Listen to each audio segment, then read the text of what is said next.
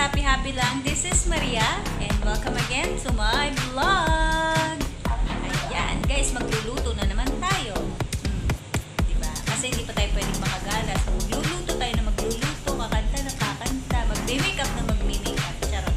Ayan, guys. So, yung isa kong alaga is nag-request ng ah, yung favorite nila. Yung, natatandaan niyo yung sinabi, ay yung isa kong vlog na ah, adobo curry na aking inimbento lamang. Ay nako, nagustuhan nila. So, ayan. Yung isa naman, nag-request ng lamb. So, ang gagawin natin is pagsamahin nila ang gusto, pagsamahin natin yung gusto nila. So, gagawa tayo ng lamb adobong curry. Ayan. So, ayan na yan guys. Start na ako. Okay guys, as I continue, ito na yung mga ingredients na ating gagamitin. Meron tayo ditong onion, potato, vinegar, kikoman soy sauce, paminta, and uh, curry powder, turmeric powder. And itong ating lamb ay uh, tinanggalan ko ng buto pero yung buto isinama ko pa din dyan kasi sayang yung ano eh, pampalasa din.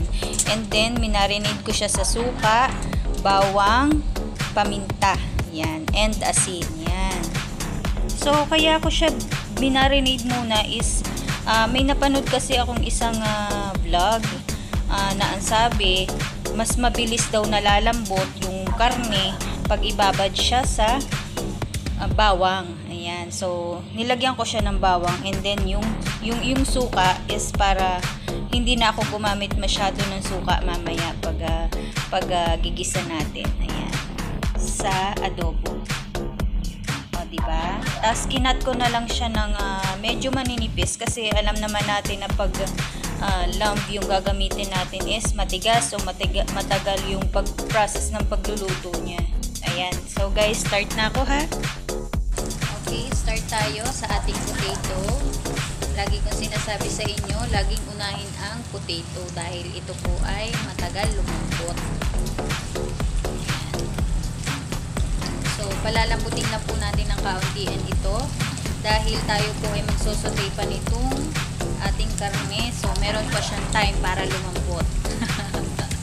May time pa siya para lumambot. Ang bongga. Yan.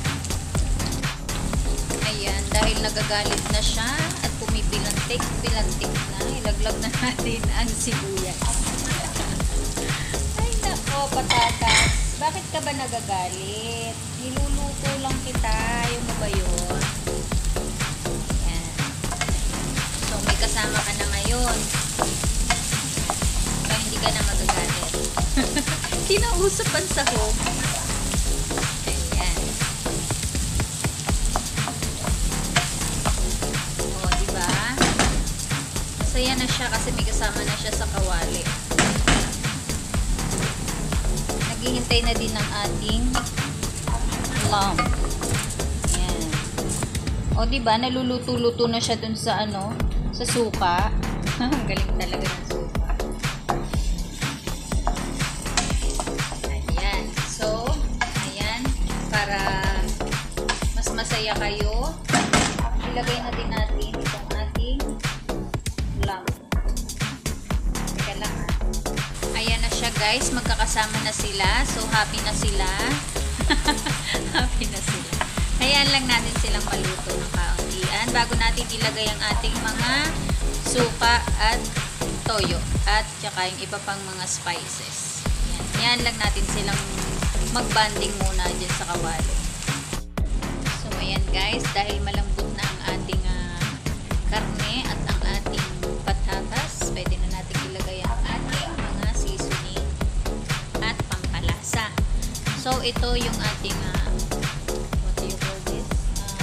curry powder. 1 teaspoon of curry powder. Yan. And then, 1 teaspoon din ng turmeric powder. Tapos, yung ating uh, uh, ito ay paminta yung ating suka at toyo. Depende na yun sa inyo ha, sa inyong panlasa. Kung uh, gusto nyo eh maalat, eh di Kasi ito ay minarinate ko na sa suka, so try ko muna kung anong lasa ng kanyang uh, sabaw. Kung dadagdagan pa ba ito ng suka or okay na dun sa toyo na nilagay ko. Ayan, ganun lang kadali. Ganun lang siya kadaling gawin itong recipe na ito. Pero patok na patok ito sa kanila. Patok na patok sa mga Arabo. Ayan. Isa ito doon sa mga naimbento kong luto. Iba pag nasa kusina, kaya pag mahilig ka sa kusina, marami kang matututunan. Yan. Explore, explore lang pag may time. So, ilalagay ko na to sa food warmer at isa-serve ko na. Okay guys, this is our adobo lamb curry. Yan. Diba?